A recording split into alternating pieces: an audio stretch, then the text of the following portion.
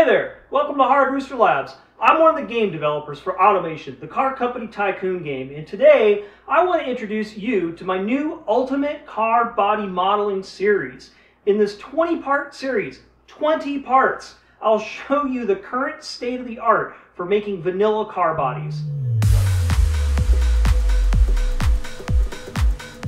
You should possess at least an intermediate knowledge of Blender before beginning here. If you are new to modeling and modding, I strongly suggest making several fixture mods first, including a headlight mod. Then it wouldn't hurt to make a rim mod or two. Completing these mods will introduce you to a lot of the tools you'll use for making car bodies and provide you with the necessary experience to complete your model. Making car bodies is hard and time consuming. I've made over 300 vanilla car bodies for automation and it still takes me two weeks to put together a family and all of its variants. There are a lot of steps, which means there are a lot of pitfalls to avoid and you may fall into a pit that you sets you back a whole week of work if you're not careful. So please take my advice. If you're new to modeling and new to modding, start with something easier. Okay, with the gatekeeping out of the way, the first couple videos are about finding blueprints, getting them set up in Blender, and finding good reference images. The third video is where the magic begins. I use a hard surface modeling technique that depends on a high poly target mesh to create and define perfect reflections.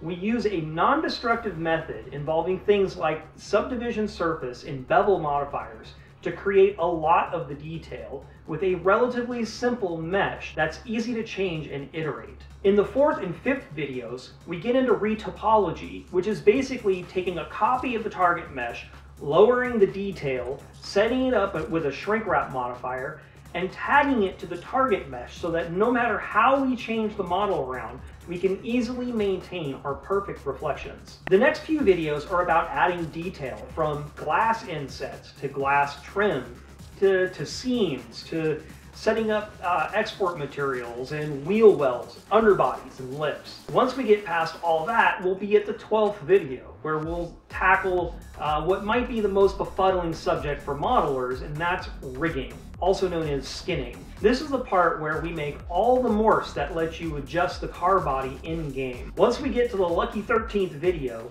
it's time to export and test, and you may need to skip ahead to the 20th video for the details on how all that works. This step is critical. You need to know how your model is going to look and if there's anything that you need to fix. I consider this quality control step and I sometimes spend up to two days on it.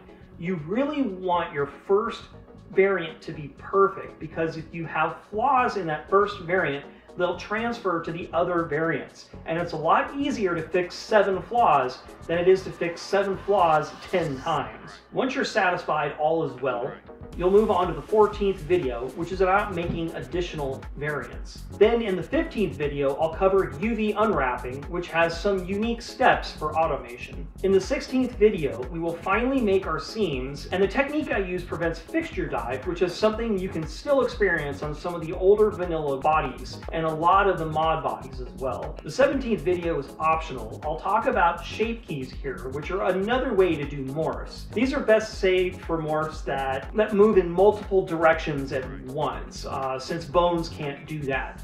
Uh, or in case where a rigged morph just breaks your reflections. In the 18th video, we will set up our bounds boxes, which determines things like weight, cargo, and cabin space. The 19th video is about triangulation, which is something mostly unique to automation. Since we don't do any normal map baking, our reflections are completely dependent on the direction of the triangles. I'll show you what triangles do and the kinds of flaws they can cause and how to fix them. And finally, we arrive at the 20th video, which is about how to export your car body, import it into Unreal, setting it up, cooking it, and how you can test it without needing to publish your mod to the workshop first. Anyway, as you go along, don't forget to hit the like button and subscribe if you haven't already. If you need any additional help, you can always find me on the official Automation Discord, and you can also just ask me questions in the comments below. So without further ado, let's get started.